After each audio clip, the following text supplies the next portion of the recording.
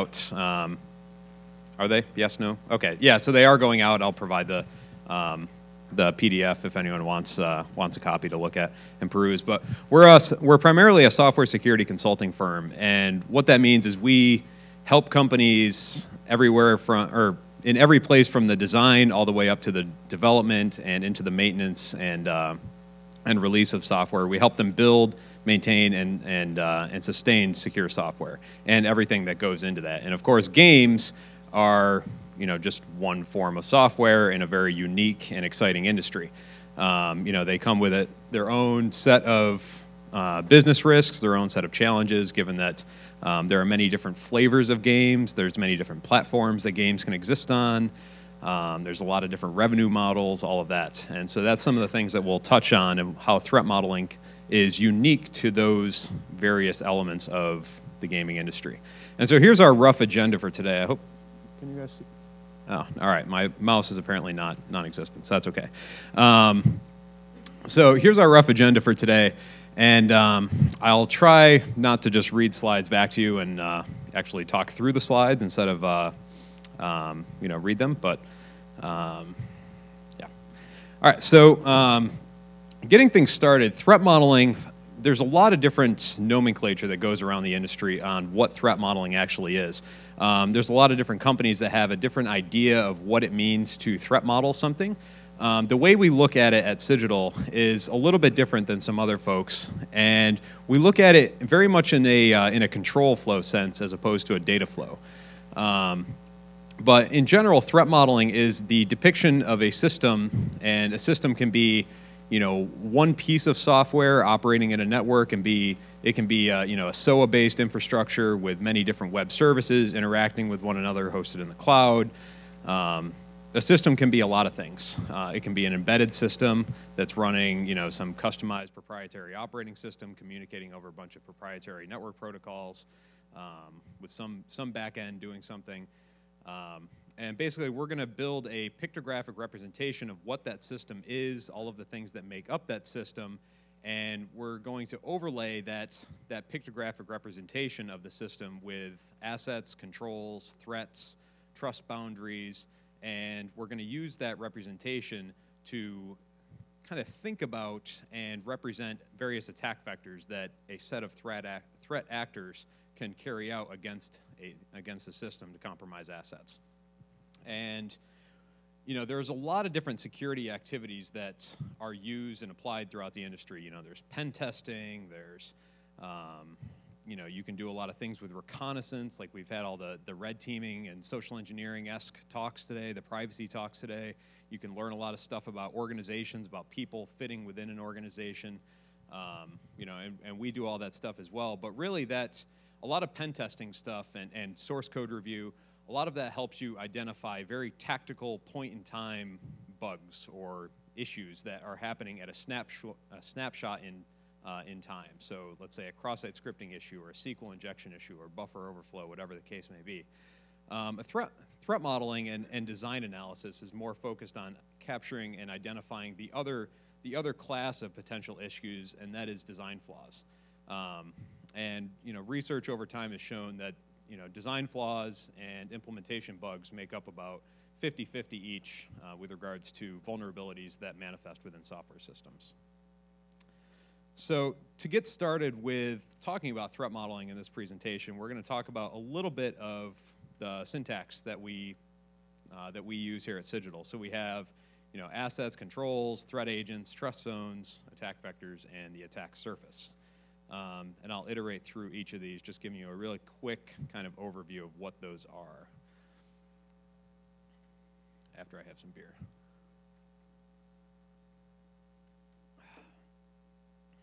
And the special is fantastic, by the way. I don't know who picked the special, but it is, it is good. Um, so assets. Um, assets are probably the, the most critical thing that we need to really think about when we're designing and building systems.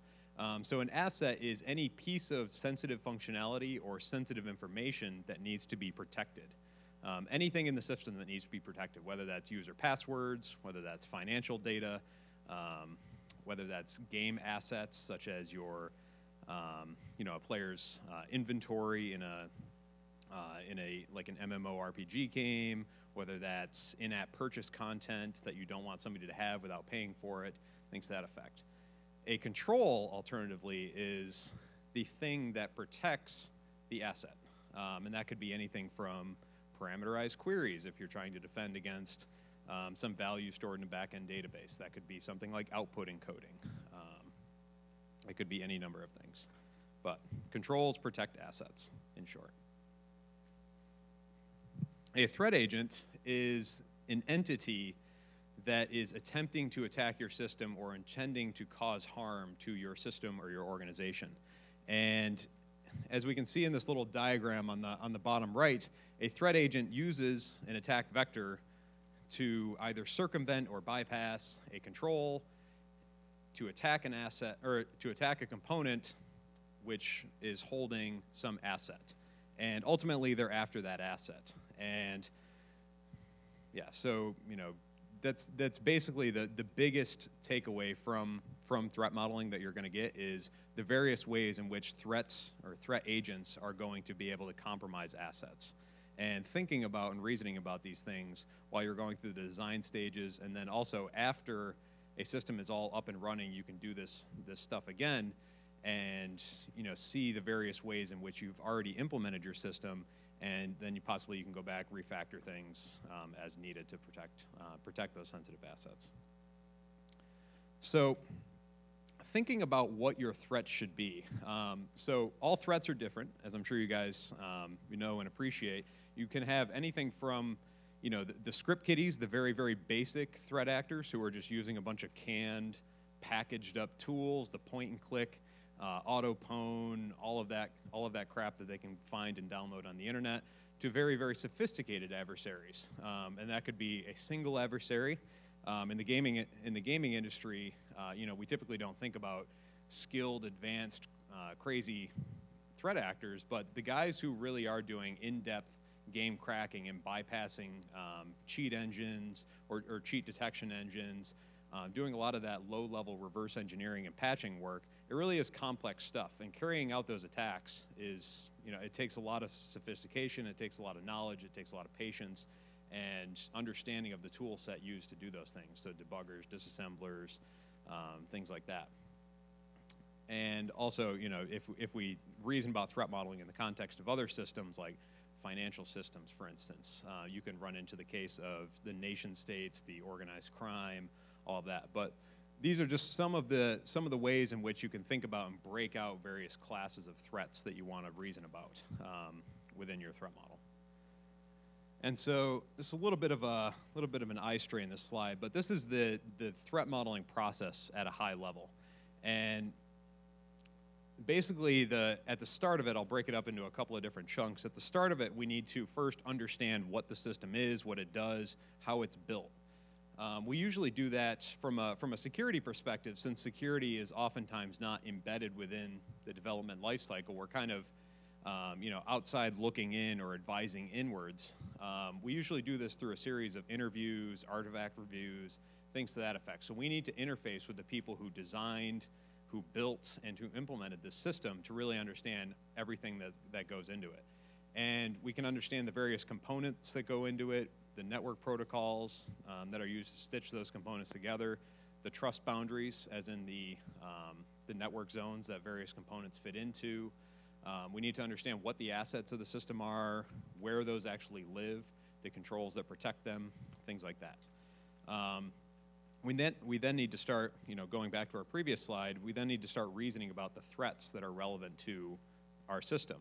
And once we understand the threat structure, we can overlay that information onto our system diagram that we've built at this stage. And so then we're about six or fifth bullet down? Yeah, fifth bullet down.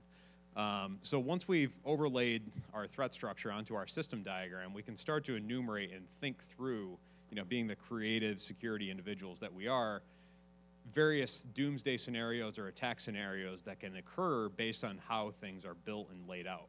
And we can do this using, you know, not only our creativity and, and experience and what we've seen in other places and other systems that we've worked on, um, but we can use a set of canonical attack vectors based on various design patterns that are used. For instance, if you're using a third-party payment system um, that is, you know, sending information over HTTP, you know certain attacks that are going to be vulnerable to that.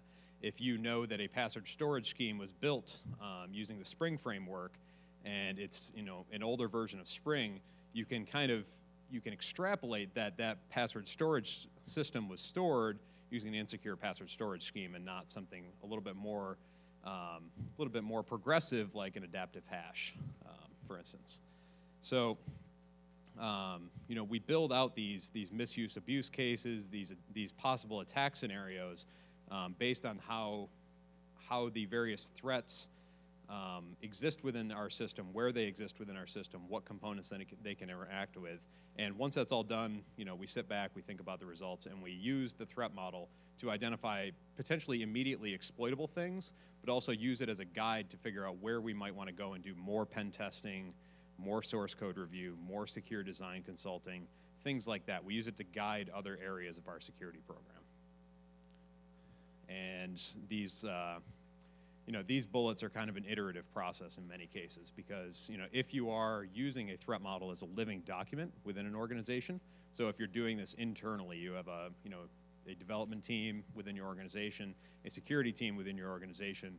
You know, you can build a threat model once at the design stage, revisit it at different stages or different release cycles, and see how things have changed, what new components have been added, things to that effect, what new controls have been added to address um, address a potential threat, things like that. So the business risks, you know, in, in any security context, we need to consider business risk because as security professionals, if we cannot illustrate business risk to you know the companies that we're working for or the companies that we're working with, if we're consulting, then it's very likely that we're not going to get anything done, and that we're you know we just look like the boy who cried wolf, um, like the Monty Python video earlier for those that that saw it um, with the rabbit. So, you know, we need to be able to articulate what what risk a particular vulnerability is going to cause that business. And in the gaming industry, we've got some unique risks. Um, you know, some of these are, you know, of course, overlapping with other other industries. So denial of service, of course, is very common, and you know, financial services don't like denial of service just as much as gaming companies don't like denial of service. You know, account theft and account hijacking, obviously not a good thing in many, many systems. Um, however, piracy is one of those interesting things. Fraud is one of those interesting things, and cheating is one of those interesting things that can sometimes you don't necessarily have to protect it based on the based on the revenue model. You know, in in many cases, it's not ideal. For instance, if you're releasing a single player game, you know, you don't want that game to be pirated. Probably, you know, it depends on your business goals. Um, but it's more than likely you you want certain DLP or, or uh, uh, DRM rather, um, certain DRM controls in place to prevent that game from being just outright pirated, sold, and, and downloaded on Pirate Bay or you know, insert file sharing or uh, torrent site here. And so breaking away from you know the secure design or you know the, the high assurance you know security security wizards who are waving their hands at everything and saying you know stop everything needs to be extremely secure everything needs to be perfect before you can go to release it may not always be the case in the gaming industry. And you know, some assets and some some patterns are worth really getting behind and really putting a lot of uh, eggs in those baskets to protect. And some are, you know, you may just want to outright allow them, depending on you know the revenue model or the business model of your game. Um, you know, if you're if you're releasing a freemium game that's based all on uh, in-app purchases, you may not care how many people um, download that. Or even if the game is 99 cents and your, your primary uh, form of revenue is coming from in-app purchases, you may not care if people are able to bypass that initial 99 cent purchase as long as they still have to go through the IAP to download all that additional content. And so then we get into this, into this realm where we have the prevent, the control, monitor, or the allow. And you know, this, this stuff may change every so often depending on, again, the business model, the revenue model. Um, but from our experience, this is usually how things break down. Is you know these things on the left are stuff that we we see companies you know outright. We know we have to protect this stuff day in day out. This is what's important to our business, our our reputation, and of course our ongoing revenue stream. And the stuff in the middle is, eh, you know, we could go either way. We could invest in controls to monitor uh, certain, you know, monitor cheating to a certain threshold. And uh, for instance, with the game Titanfall, they monitor um, they monitor cheating, and if they catch cheating at a certain threshold, they'll pair cheaters up as a way as a deterrent and have them fight against each other in their own little cheating, uh, you know, cheating match, cheating death match. Um, other things, if you if you are creating bots that get uh, that obtain a certain level of efficiency within a game, then you may get kicked off or you may have items removed or things like that. Um, so it, you know it's all dependent on the business. So you know we as security people can't just you know red flag everything and say you know this is an immediate problem. We have to consider the business risks. So moving past that, um, modeling the system. So as I said, we're we build our threat model initially from a system model. So we have to we have to pictographically construct what a what a gaming system looks like. And again, that can be a gaming system can be many many things. It can be you know anything from the Angry Birds mobile app um, or Candy Crush communicating with Facebook servers for for authentication and state, uh, session state management. It could be uh, you know a gaming system like an Xbox Xbox One or PS4.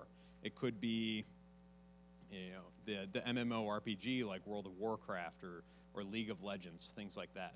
Um, you know, these things are all wi- these examples are all wildly different with regards to platform, um, you know, revenue model, all of that, but it all kind of fits in. Um, and so we have to we have to figure out how that system is built, how control flows throughout the uh, flows throughout the system from lower privileged users to higher privileged users or components and we have to capture the various uh, app layer and network layer protocols that are stitching together all of those systems.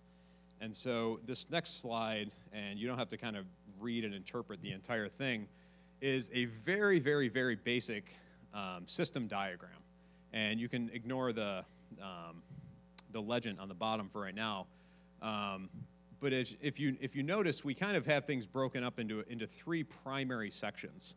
Um, we have the, the internet facing um, you know, kind of untrusted stuff on the on the left, um, minus the minus the CDN right now, but um, the untrusted stuff on the left. So the player is over there. You know, the game client is installed on their system. The launcher and the patcher um, service is installed on their system. They have a web browser that can be used to to interface with um, with our game servers.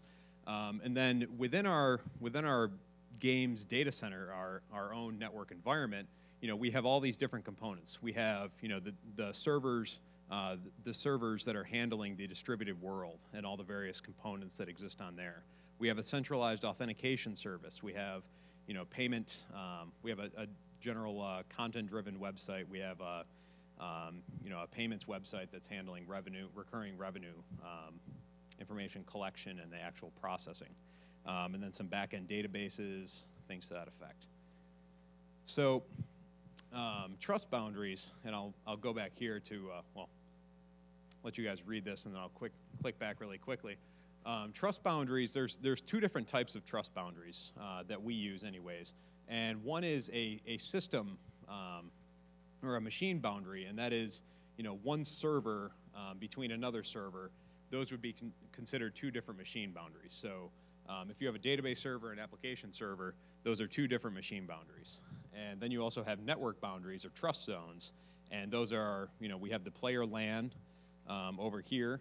And, uh, well, you can't see where I'm pointing, but you have the player LAN up on the top left, and then you have the data center. And you can get a little bit more granular if you, if you need to, and you can go into and zero in on, you know, restricted network zones within that organization's data center that might store, um, you know, PCI relevant um, data such as uh, payment, uh, payment systems or uh, uh, payment data being stored for recurring payments or you know just general databases that are housing sensitive information. And um, so moving into the assets. Um, these are just some generic assets again in, in our very overly simplified game um, gaming system here. Um, you know, some of the some of the ones that we've reviewed have been you know, exponentially more complex. And um, you know, I, I initially attempted to anonymize one of those and put it up on the slides, and it uh, it almost gave me a stroke when I tried looking at it in PowerPoint. So um, so I couldn't do that. Um, but these are some sample assets uh, relative to this particular game. So we have you know, the general game content. So consider our, our sample game here is uh, something like World of Warcraft. And, you know, so you pay for the initial client to be installed on your system, you know, whether it's 20 bucks, 50 bucks, whatever. Um, you pay an ongoing subscription fee, so therefore you supply your credit card information. That credit, credit card information or whatever payment method you supply is stored and charged on a, on a recurring basis. And then you have a bunch of, uh, you have various assets. So you have your, your in-game inventory, your, um, the armor and stuff that you have, the weapons, um, the currency, the virtual currency that you have, um, the experience points and, and, uh, and such associated with your character. And then you have some other things like the, the data that influences uh, fraud and cheat detection services on the back end. And you know, we consider that an asset again because it's a sensitive piece of functionality or data um, that we don't want to be manipulated because we don't want people cheating and defrauding our game.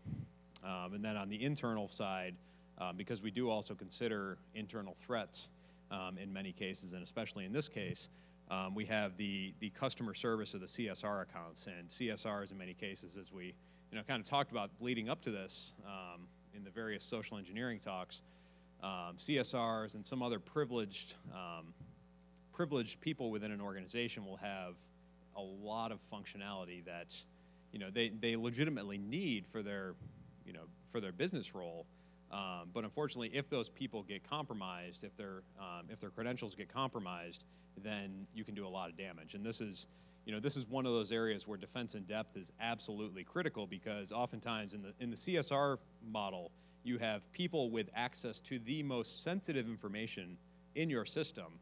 Um, you know, whether that's passwords, payment data, what have you, getting paid the least amount of money in you know your security hierarchy. So your um, you know the the model is just kind of flipped on its head. You have you know it's uh, it's like the cleaning ladies or the the cleaning staff who have access to your entire building, whereas you know people within your organization who get you know compensated very well may not have that level of access. Same same exact idea.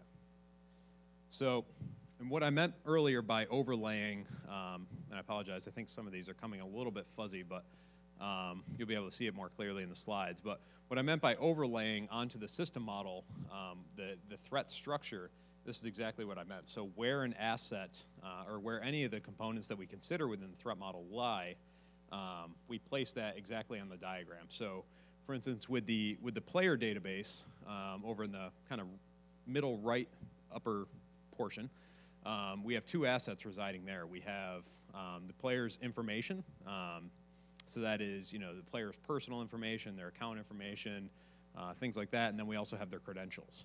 Um, and there's, you know, other various assets throughout, as you know, as you guys can can read. So, of course, the controls again are the things that need to protect the the assets. They're the, you know, their their sole purpose in life is to protect an, a given asset. And so, again, these are just some of the controls within our simplified system that um, you know, without making the diagram too, too hard to interpret um, in a very quick manner, um, we like to we like to pair the controls right up with the asset that they're protecting. And the reason that we do this is that when you're reasoning about a threat being able to access an asset, um, you know, and that that workflow representing a vulnerability, if you identify an asset on your on your threat model that does not have a control associated with it, then that very well may be, you know, a red flag for you as a security or, or designer to, to consider. Um, if as a threat agent, I don't have to bypass, circumvent, beat a control to compromise something, then there's something wrong. Um, and we should maybe consider it and put some layers of defense around that. So a couple of canonical threats for, for the gaming industry, and you know, again, some of these are, um, you know, some of these are universal. You know, you always, almost always have to consider the internet facing attacker who's just out there existing in the world, just attacking your systems. Um, you have the malicious users, so the players who will actually pay for the game legitimately or download it legitimately, who, after doing that, that initial bit of revenue, or giving you that initial bit of revenue, you know, and they may they may steal it, who knows? But um, let's assume they just they just obtain the game they then try to break it further, whether that's to buy it once, crack it and then release it to the masses, whether that's buy it, you know, release some, uh, you know, release some weaponized exploits for it that allow mass uh, cheating at scale, um, whether that's compromising all of your in-app purchases and releasing those for, um, you know, plug and play for the masses. Um, you know, those kind of users are oftentimes, um, oftentimes the most, uh, narrowed or zeroed in on uh, by the gaming industry just because of their uh, the skill that, that come with that uh, with that particular threat agent in many cases. Um, you know, using the the tool sets that they do. Um, you then have, um, you know, if you consider multiplayer games or LAN-based games, you have attackers, and this can actually kind of piggyback off of the uh, the second bullet, you have attackers who reside on the same land, um, either exploiting the game client, sniffing game traffic, you know, performing other various cheats. Like for instance, if I'm playing Counter Strike with a bunch of my friends on the same LAN, and you know, there's an exploit in Counter Strike that allows me to, you know, outright, uh, you know, win any game that um, within the the people playing on the same on the same LAN that I am you know, I'm going to have a huge, huge advantage over them. And you know, you can insert any exploit that you want into that, um, into that hypothetical uh, scenario. Well, not so hypothetical, but into that scenario. And then you've got some internal, uh, some internal threats. So you may have, um, you know, a malicious uh, customer service representative. Um, again, with those with those people being paid the least amount of money in your organization, they have, they don't have as much motivation to say, you know, I'm going to really protect my 1250 an hour and I'm never going to betray this company. There's no way I won't do it because if somebody strolls in and, you know, consider a very high security system and they're like, I will pay you $50,000 right now to do something nefarious and I assure you it won't it won't show up on anybody's radar. You know, they may not have the technical know-how to to understand that their activity is going to be logged or you know they that fifty thousand dollars may just be too tempting, and they may take advantage of the the capabilities that they have in their role to do that nefarious thing. Whereas you know somebody who's um, you know if you try to bribe a CISO with that amount of money, um, you know you're going to have a much different response as that as that briber. Um, then you have other, uh, you know, internal attackers such as just the internal LAN um, attacker. So somebody who just gets a job at a gaming company is residing on that internal network depending on how that network is segmented, you know, you may be able to do um, nefarious things as well. So if you look at, um, you know, towards the top of our model, um, if you guys can see that, you've got some RESTful calls being made over um, clear text HTTP, including things to the authentication service, including things from the the payments uh, the payments website. And right now, we don't have any segmentation around that. So an internal network attacker may very well be able to just sniff network traffic and get access to um, uh, to user sessions, to user passwords, um, to payment data as it's being uh, passed around the internal network and ultimately into a database for storage, things like that.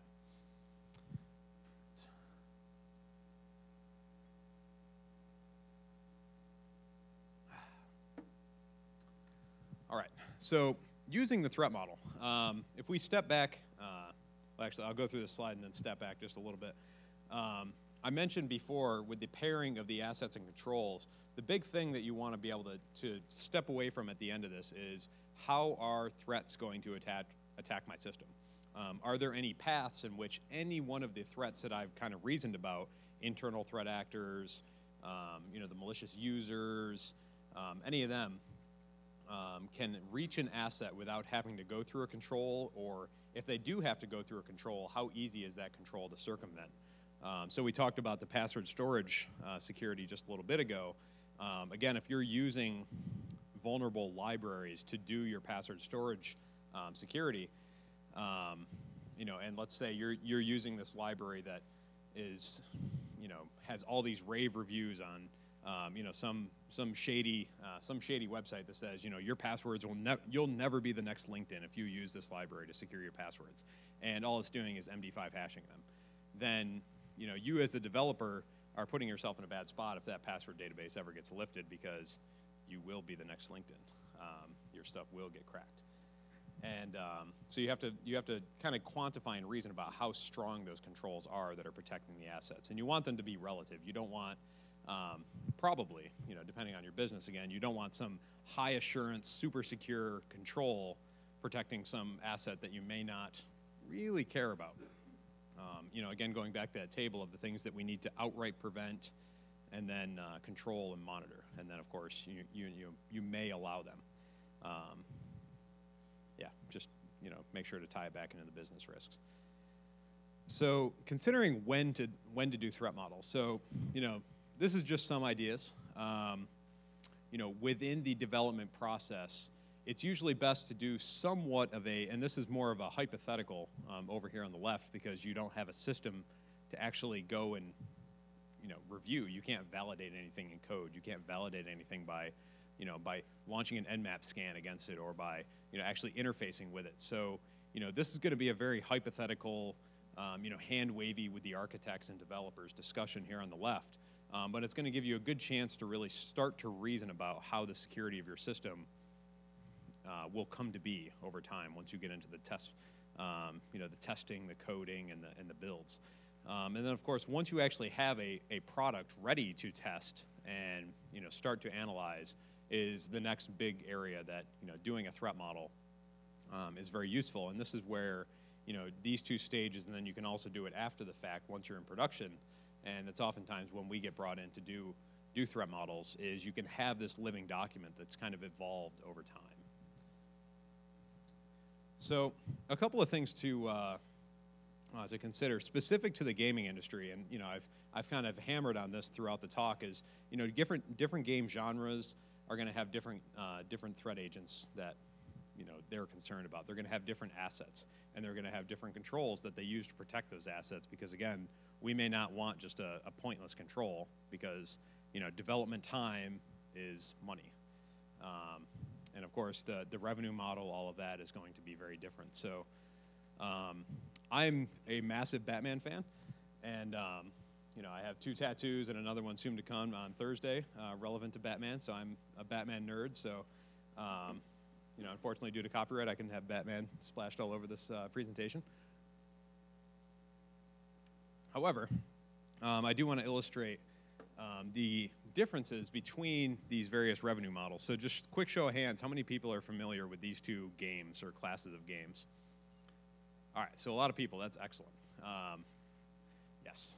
And um, so the Batman Arkham games, for anyone who isn't familiar with them, they're, they're just single player games available for consoles, for, um, you can get them off of Steam, um, what have you, and you know, you just, you play as Batman, you go kick ass, take names, and uh, you know, save the world or save Gotham, anyways. And um, it's very self-contained. There are some online challenges, but they're very limited. There are some uh, bits of D, uh, DLC that you can download um, after you pay for them or downloadable content. Um, but ultimately, it's very contained within the, the player's system. You're not playing against other, a bunch of other players, um, all of that. Whereas the DC Universe game, is a free to download. There are some some premium versions that you can download, um, but mostly it's a free to download MMORPG, and you select from a big class of characters. Um, you know, you uh, typical RPG, right? You you select your character, your class. You start to go out, do missions, gain experience, gain uh, you know get items, all of that, and you know it's it's a lot more long term to you know you, you're just kind of working through this story that's relevant to the, the character and, and side that you're playing on. And so the the risks that these two companies face are going to be two very very very different things. So cheating in the batman arkham games it may not be relevant whatsoever. You know a much bigger risk to the batman arkham games may be if uh, you know what if a user can well you know piracy is, is one thing that i won't get into. Piracy's um, you know, a risk in both of these. But let's say piracy of the DLC content. So what if I'm able to, you know, automate the generation of accounts that have free access to DLC? Um, and this has happened in a couple of games, and I, I won't name which, and I don't believe it was this was one of them, so I think I'm protected there. But um, there, you know, upon generating or upon activating a new account, you were granted access to DLC content for a given game. And if you can script out the creation of new accounts, if there's no email registration or email activation, you know, we're going to send you a link, you click on it, verify that you're the owner of this email, all of that. Um, but you can just create arbitrary accounts and then activate them through the game servers and get access to your DLC. You, as an attacker, could carry out this uh, this attack, download you know 50,000 um, instances of the DLC, and then go resell that at you know at your own price. Uh, you know that may be a huge hit to the revenue of you know Warner Brothers and their their Batman Arkham games. Uh, consequently, or uh, alternatively, with the DC Universe games, you know, visible cheating is something that could very well destroy the game. Um, so visible, there's a very big difference between cheating, where you know, and this falls into the kind of control and monitor stage. Um, but cheating just on its own, if somebody can kind of just, you know, unbeknownst to anybody else, just kind of exist and get points and you know make themselves feel good about them, uh, you know, make, make themselves feel good while they're you know trapped inside for hours and hours on end figuring this out. Um, you know that's kind of a minimal risk to the business. Whereas visible cheating, where you know everywhere they walk, people just you know drop dead and all their inventory flows into their um, their things, or um, you know they can automatically win any uh, player versus player battle, or you know things like that, even though they're grossly um, you know grossly weaker or less prepared or less skilled or whatever than the person they're playing against. That oftentimes has a very very bad reputation hit against the organization. And when people are not paying, or when people are not playing these games, they're not making the company money. So, you know, very similar to the first talk today about, you know, people are they're investing all of these dollars to keep your eyes fixated on their content. It's the exact same idea here. So the longer that you exist in their game, even though it's a free to play game, you're making them more money through the the in-app purchases, through you know advertisements that they're uh, that they're shipping you, through all of the things that they're collecting. So, you know, two very very different examples, even though they're both you know Batman themed and from the same uh, from the same set of studios. So some other things that that need to be considered in the gaming industry, and this is you know a little bit more unique um, than many other industries because you know financial services a lot of it's just web-based stuff. You interact with chase.com you know chase.com has a bunch of web services that it interacts with and then it you know sends stuff back to database servers. Um, you know many banks operate like this. Um, and you know it's it's very similar for other industries. Gaming the the gaming industry is unique because you know they almost have to account for so many different platforms and and all that. And you know, you've probably heard the term "trusted unbusted," where you know you're trying to you're trying to ship trusted software, a trusted system, to something where an attacker has complete control over that over that thing. Um, and so there's been technologies that have been kind of pushed out to the masses, um, you know, commercial and free, and um, you know, just general design patterns to help protect against these things, like like the Arxan and Metaforic um, commercial products, for instance, that do you know binary security. So you can build your game, your game client, in such a way that it makes it harder to revert to conduct reverse engineering attack, reverse engineering attacks. Um, actually, we'll step back. Um, so, you know, in making it more difficult to conduct those attacks, you can kind of um, you know, you can almost take the advantage away from the attacker and, and you know, kind of keep the ball in your court, you know, when considering, um, you know, much more open platforms. So for instance, uh, you know, in the gaming, in the gaming industry, PCs are oftentimes considered the, you know, the, the hardest to test because of all the various configurations and um, and all of that than, let's say, game consoles, because game consoles ideally are supposed to be much more controlled. It's a very it's a very controlled, restricted environment until you know the homebrew community comes through and just kicks the doors down and, and says, you know, we're going to install Linux on everything, and you know your system security is is laughable. Um, so you know, testing on on game consoles, there's not as much concern usually with protecting game clients on those consoles because they, they kind of inherit the trust, um, inherit the trust from the game console provider. Um, it's almost uh, when you consider um, cloud-hosted PCs. Has anyone heard of uh, NVIDIA's Grid service by chance? All right, so a few people. Um, so Grid is a cloud-hosted gaming PC platform. So you know you basically have a gaming PC, a gaming rig that's you know hosted in their in their cloud environment, and you interact with it through um, through a browser-like client. and you know they're trying to remove that element of you know the unknown the unknown platform being in the attacker's uh, being in the attacker's hands and you know keeping that um, you know let, letting the game provider inherit the security properties of you know of their of their deployment. Um, yeah. So you know threat modeling in general it's you know it's not a it's not a tool or a process that is specific to the gaming industry. Um, you know you can threat model all the things. You can threat model you know in in the gaming industry specifically you can threat model the the the client itself that goes on the software. So if we step back to, um, you know, our model here, it would be that top left box. You know, you could get much, much more granular with that top left box um, and how everything gets installed on that system. Um, so for instance, one risk would be the fact that the, the launcher and patcher is getting content from the CDN over HTTP. And that fact may result in um, an attacker, if, if that launcher patcher is running as administrator, um, and it's receiving content over HTTP to you know download and execute some some executable code, then you know as an attacker on the LAN, I may be able to um, inject myself into that network connection, force them to download a nefarious or malicious uh, executable, and get it get that launcher to execute that code as uh, as admin on the user system, gaining remote code execution rights. Um, you know, that's one example. You can, you can threat model the, the actual game platform itself. So the game consoles, those cloud-hosted environments, um, things like that. You can threat model proprietary network protocols or authentication protocols, um, all of the various server-side components, the distributed worlds, um, you know, the payment systems, the storage systems, all of that.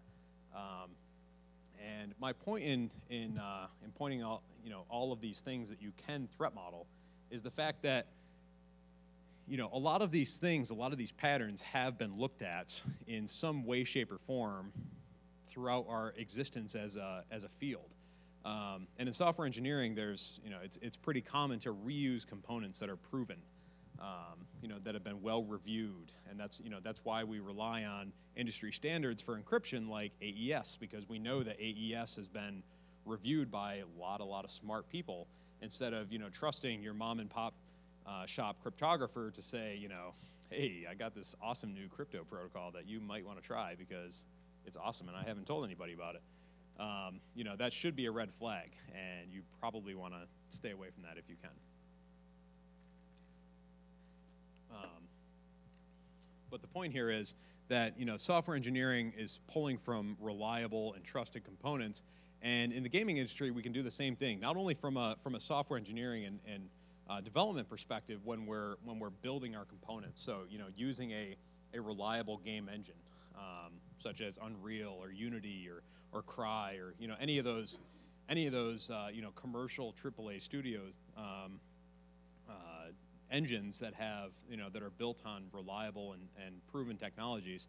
Um, but as you're building your back end, you know use um, use trusted, updated frameworks. Don't use things that are old, out of date, uh, you know, not reviewed, not supported, um, things like that. And um, you know, a lot of these, a lot of these patterns, and you know, these are just these are just three. Um, you know, there are many, many, many others, and you know, I'm happy to chat about them with folks afterwards. But a lot of these patterns have crossover into other industries, and you know, the security in the gaming industry, as I alluded to earlier, is very, very focused on, you know, protecting the game client. You know, trying to make sure that people can't do, you know, in-memory, uh, in-memory value exchanges and, you know, swapping out, um, you know, swapping out their low health for high health or, you know, giving themselves unlimited, uh, unlimited gold, things like that. Um, that's where a lot of research and focus has been on. Um, but all of the other all of the other necessary things to go into a well well designed and functional game you know have crossover into other industries where those things have been very very thoroughly reviewed. And so you know as game designers and, and game developers and security uh, security professionals working in this industry you know we can pull from that experience and help integrate it into the the development process. Um, so we talked a little bit about the, the trusted unbusted a little while ago, but another question to just kind of consider and ask yourselves is, you know, not only what kind of risks um, does your users present to you, your game, you know, in terms of piracy, in terms of revenue loss, all of that, but what kind of risk does your game present to your users? For instance, if you're developing an inherently uh, insecure game, and I'll use an example here, is we found that um, you know one one studio that that we were working with on, on one particular title were using a you know custom developed uh, chat client within the game. So you know how you, you know press like Shift Enter or whatever, and you can chat with with other people in the world and blast out messages or do peer-to-peer messages, whatever. Um, the thing was riddled with buffer overflows, and basically you could send out mass buffer overflow attacks to folks on you know on the world that you that you were playing in. Um, you know, just via the chat client. You could send out your payload through the chat client and get remote code execution on everybody else's system. And of course, the, the game client was running as, as admin because it had to run as admin. God forbid it run as anything else. But, you know, ask yourself these questions is, you know, you, you have to consider both sides of the coin because they're both, they're both very important. If, if, that, if that flaw had made it out to had made it out to production um, and it was discovered and exploited in the wild, it could have been absolutely disastrous for this company. Um, and you know, thank God it didn't. But you know, just something to consider. And you know, I kind of alluded to some of the values of um, you know some of some of this stuff earlier in the talk, but um, you know, of course, defense in depth is an absolute must. You know, the more green boxes, um, if you're doing the asset control approach to threat modeling, more green boxes you can have next to your sensitive assets or on the way to those sensitive assets, the better. Um, you know, make sure that if an attacker is going to compromise an asset, then they're going to have to go through a lot of pain and trouble and you know security testing wizardry to get to that asset. Um, you know, throughout your development process, make sure that you have various touch points, whether those are architecture discussions, whether those are pen tests, whether those are uh, code reviews or automated uh, code reviews, just checking for, you know, memory leakage issues or, um, you know, have network scanning uh, stuff going on, looking for, you know, vulnerable ports that are open, out-of-date software, things like that. Um, you know, have as many ch- touch points as possible without you know grinding development to a halt because ultimately you want uh, security to be an enhancement to the product not an inhibitor. Um, and that's you know a whole nother topic in itself and you know as you move into devops land and you know automating all the things. Um, so you know using threat modeling to drive other security activities. So you know admittedly this is a little bit of a heavier weight process than running you know a point and click scan or something like that as i'm sure you you know, can can reason from this uh, from this presentation is, you know, it takes a lot of, you know, human thought and human, you know, intervention to kind of reason about how the system is put together. You know, think about what the attacks are going to be. Think about where everything has to live. All of that, and you know, all of that human time spent on something, you know, is ultimately time spent that you know they can't go do other things, and we don't yet have intelligent enough machines to do this stuff, or at least, you know, not that they're not intelligent enough, but we don't have the software necessarily to do all of this, given how complex some things are. um, but I'm sure we'll get there someday, and that'll be that'll be fantastic. Um, so also, uh, you know, these two, these last two things are kind of uh, intertwined together. But you know, consider the value of the asset that you're trying to protect. You know, ultimately, if you have that low value asset, you know that's not where you want to be throwing all of your your develop your security development and security engineering budget at. You want to be protecting all of the very high value assets. Um, you know, it makes perfect sense when you when you step back and think about it. Uh, but we've seen many many organizations just redirect their security budgets in the exact wrong or opposite direction, and ultimately it's come back to bite them in uh, you know in negative ways. And um, yeah, so uh, wrapping up now. So, does anyone have any questions or anything? And we've got about six minutes until we uh, flip the room into uh, into dinner and such, and get more beers. So, yeah.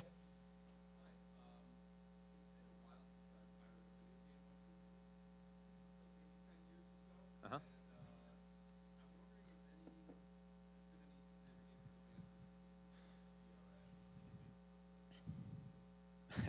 so the question was. Um, that well, focused around whether there has been any significant enhancements in DRM and whether it works any better nowadays. Um, the answer is kind of. Um, so there's a few new um, you know a few new uh, developments out there. Like Microsoft is putting out um, you know putting out like their PlayReady service, and there's a few other companies who are kind of piggybacking on like the iTunes DRM original DRM model and Kindle's DRM and stuff like that. But ultimately, there exists nothing out there currently that has not been broken. And in the research that I've done, a lot of the a lot of the DRM has focused mostly on you know protection of physical media, and um, ultimately that ends up going more towards uh, you know protecting like the Blu-ray drive players and the and the discs that are going out, you know mostly movies on them, um, and not a lot has gone into you know protecting games uh, because ultimately we're moving towards a very very digital distribution model, um, or at least digital distribution heavy model um, for gaming. And like Steam, for instance, has actually done, um, you know, they're one of the they're one of the bigger. Um, you know, some people love them, some people hate them, um, but they're one of the you know kind of they call themselves pioneers, and and I kind of agree with them in this case. But what they're doing is they're doing account specific. Um, they're creating account specific content encryption keys, and so you know when I have my Steam account um, it will create a, a, a uh, content encryption key for my, for my account, and it'll encrypt a portion of um, whatever game binary I download. So if I want to download, um, you know, one of the new Star Wars games or the new GTA 5 game, um, it'll encrypt part of that um, part of that game client with my specific account key, and that account key is of course tied to my account. So when I go to another laptop or uh, you know, a friend's PC, I can just log into my account and, um, you know, assuming that the game is there, I can I can decrypt that part of it and, and go ahead and play the game. But other other users on that same system logged into their own Steam accounts won't have that same account key and be able to decrypt the same part of the um, the game client and get past it. So that's one of the one of the bigger, more popular approaches out there that I've seen right now. Um, you know, and, and, a lot of folks are actually opting towards the, you know, to hell with DRM. We're just not going to do it and piss our users off, and you know, get money other ways. So, hope that helps. Yep.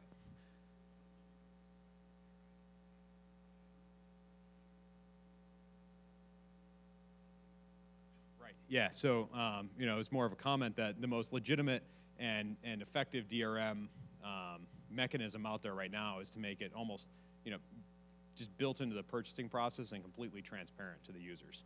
And you know, DRM has a has a nasty reputation. You know, of course, publishers and producers and such want to protect their intellectual property, and who can blame them? Um, you know, but the biggest complaint against DRM has not been because these people want to protect their intellectual property. It's because it's an enormous pain in the ass. And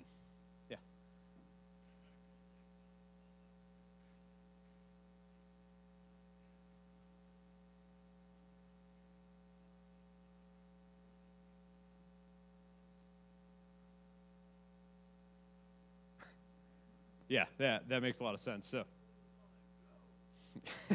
yeah, so just uh, recounting an experience where um, I think I heard it all that you know the only um, version that worked was the one that was cracked running on top of the the supposedly protected version. Um, and yeah, that's oftentimes what happens in the um, in the pirating uh, the pirating industry is people are you know you'll have the crackers who will you know, show that they can crack or or beat a game's DRM, and it happens in the homebrew community as well. As they just want to get around the system security and prove, you know, that they can do it. It's more of an intellectual curiosity. And then you have all the pirators who come in after the fact and actually try to make money off of it. Um, it's kind of a unique little black market in itself.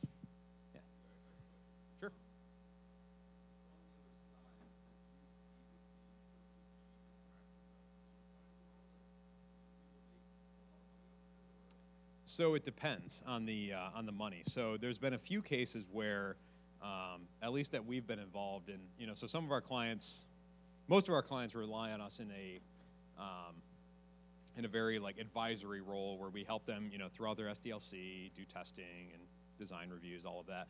Um, but when we get to a certain level of trust with some of our clients, we'll help them and advise them in somewhat of a uh, an incident response uh, capacity. And we've had a couple of cases where um, studios kind of putting out um, putting out marketplaces of sorts for you know new game content or new games uh, in themselves, where they have a very very big social. So it's almost like a social media um, component or extension of their organization. Um, and as soon as you have, you know, a YouTube video that you know shows how you can download everything on their site for free, um, or they see black market sites uh, pop up with everything at half off from from their marketplace.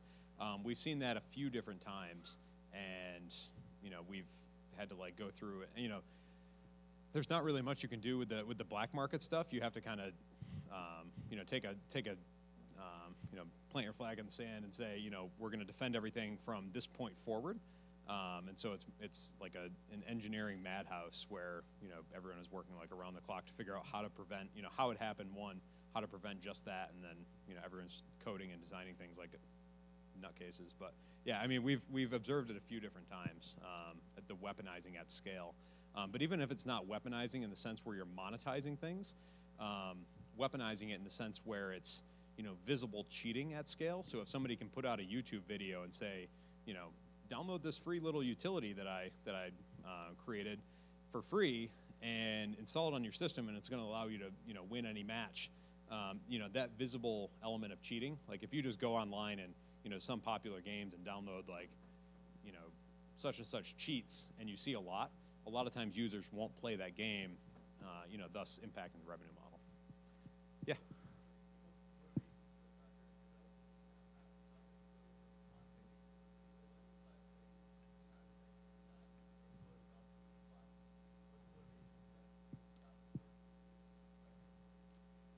So the question was uh, focused around the motivations of the attackers um, developing these hats, these hacks, and these bots, uh, things like that. Was that all right? Um, sorry, it's hard to hear up here.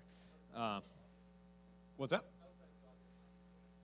right. So a lot of times, you know, it kind of circles back to the, um, you know, to the, um, you know, the very, very stereotypical hacker um, persona that we uh, that we brought up before. So, you know, that malicious user threat agent um, is very oftentimes, you know, doing it for more of a reputation boost. Um, so they want to show in their, you know, in their little, uh, you know, hacker inner circles that they're the ones to, you know, who broke this system, who did this thing. And that's why, you know, at some of the, um, uh, there's a few German, uh, German-based conferences that, um, and and uh, RECon and LayerOne down in LA. Um, who have you know a couple of these really kind of elite game hacker groups, um, uh, like C Forever. Um, a couple of other names are escaping me, but the guys who do like the like the console uh, the console routing, um, and the guys who found that uh, the PlayStation 3 uh, was not using um, was not using a secure random number generator in their uh, um, in some of their uh, encryption implementations, and thus we're able to uh, predict the um, uh, predict the master key used to sign all the binaries on the consoles, and thus be able to run any code that they wanted. So, um, and they they just published that out there, and they're like, you know, look at this cool shit that we can do, and they showed all the math behind it, and people are like, man, you guys are awesome. So, you know, it's a lot of times that that threat agent is very much a um, you know a, a reputation or a, you know, look what I can do kind of motivation. That's what we've seen anyways. And of course, every threat agent is going to have very different motivations. Yeah.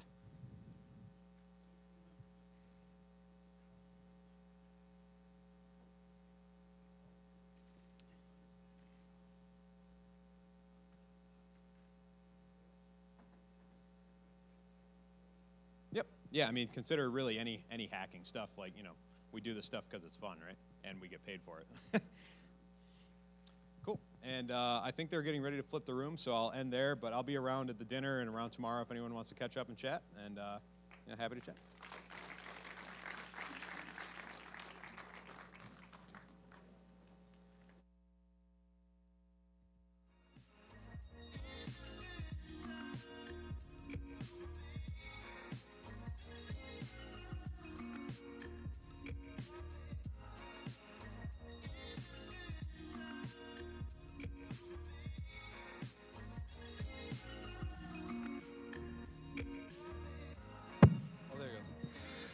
Right, thank you very much for coming out. If you uh, did buy a VIP ticket or a speaker, please stick around uh, in our lounge. We're going to have some cocktails and uh, while we flip the room to dinner.